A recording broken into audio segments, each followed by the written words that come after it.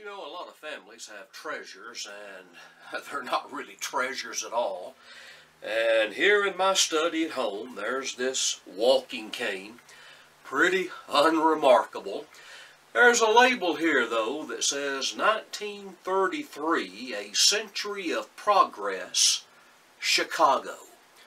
My granddad was a brakeman on the IC Railroad.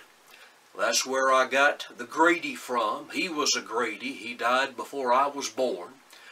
But running up and down the railroad and going back and forth to Chicago a lot of the time, here's a souvenir cane. What is it worth? Make an offer. It's really not worth anything. And a lot of family treasures and heirlooms pots and pans and plates and souvenir spoons and everybody has seen the joke t-shirt. My Nana went to New York City and all she brought back was this stinking t-shirt. Well, I look at this every now and then, and you know it's something of a symbol, even a relic of a day gone by. Once upon a time, not so much today, but the World's Fair. That was a big event indeed.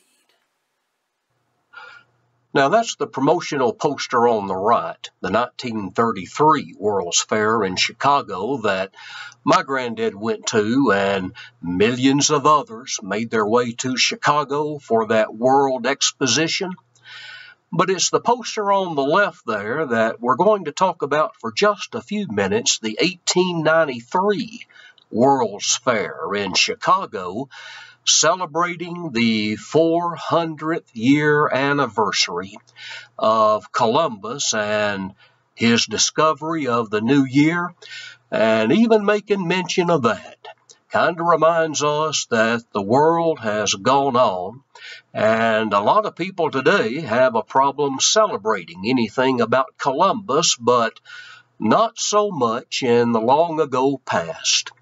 And from time to time, the World's Fair, the nations of the world came together to show off, to demonstrate. Sometimes there was a point to be proved by the host nation and a bit of propaganda that they wanted to put out, sometimes in a good way. In 1893, Chicago wanted a grand stage to demonstrate that Mrs. O'Leary's cow kicking over the lantern and burning the city down, well, Chicago was back in 1915. San Francisco hosted a World's Fair to demonstrate that the great earthquake a few years earlier had not robbed that city of its greatness and of its spirit. Many of the world's fairs, they're important and still remembered somewhat by us today. Have you seen the Eiffel Tower in Paris? Built for the 1889 World's Fair. Have you seen the movie Meet Me in St. Louis? Judy Garland and others, the 1904 World's Fair in St. Louis. Have you seen the Space Needle? 1962 Seattle World's Fair, the 1964 World's Fair in New York City, and the last one here in the United States, 1984 there in New Orleans. And maybe some of you have been to these grand extravaganzas. But you know, when we think about the World's Fair, there's been a lot of them. And they've shown off technological advances and cultural novelties and if a company has a brand new product or something new and exciting or even sensational, once upon a time, the World's Fair would be the stage where that would be unveiled. Not so today. I understand in Vegas. There's an annual consumers electronic show that's supposed to be out of this world. Well, the world has moved on, and maybe the World's Fair not so much in our mind and in our thoughts today. But you know, during the time, it was a wonder. Not just for the millions of people who would attend, but sometimes for the historical and cultural significance, and no more so, I think, than the architecture. In 1893, more than 200 buildings were constructed. They designed were designed to be temporary. A section of the shoreline of the lake was cleared and drained and then these buildings began to pop up around a reflecting pool basin. And most of them are gone today because uh, they weren't built to last. And they were all covered with a plaster, cement, some kind of stucco covering, and they all glistened white in fact, some people think that the author of The Wizard of Oz, he got his idea for the Emerald City, seeing the spectacle of all these buildings lit up uh, by electricity in 1893 Chicago. And I'm sure that it's more than just seeing famous people at a big event, more than eating Cracker Jacks for the very first time anywhere. And more than just the lights and the sound and the spectacle, the buildings, impressive, monumental. And you know, a building can be designed and built to reflect the notion that this is an important place. This is an important company, a bank, an insurance company, or a seat of government. And the White City built for the 1893 fair.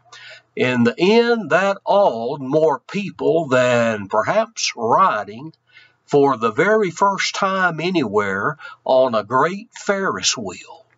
And the building, one of the two or three that still stands, and one of the buildings that was renowned for its amazing beauty and its grace and its dignity was known as the Art Palace.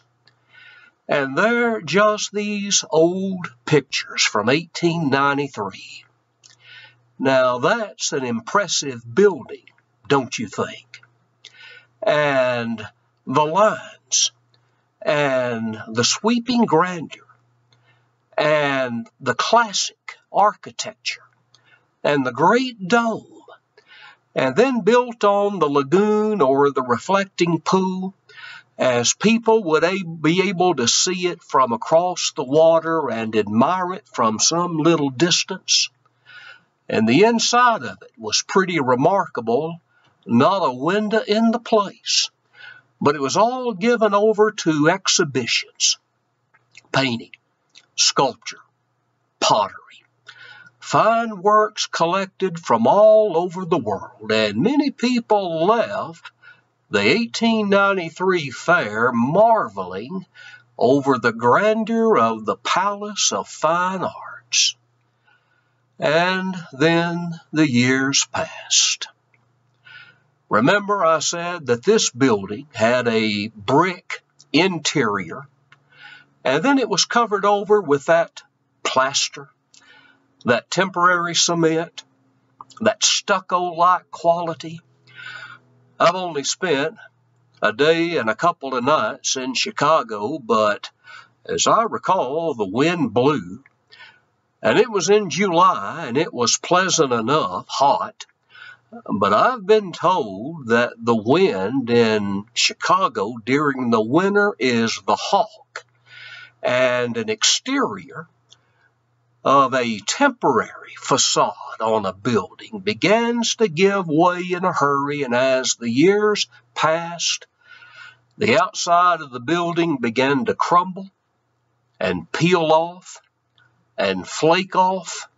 And before long, that once magnificent building was hardly more than an eyesore. And then a remarkable thing happened, I think, and one that serves as the point of these few devotional thoughts. It was determined that we'll rebuild the building.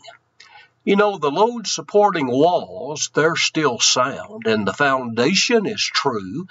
It's just the outside of the building, that exterior, that needs to be replaced. And this time, not with plaster, but with limestone. Block by block, stone by stone section by section. The old, decaying, temporary was pulled off and replaced with the new and stable and the beautiful, and the building was restored, rebuilt, refurbished, and saved from utter destruction.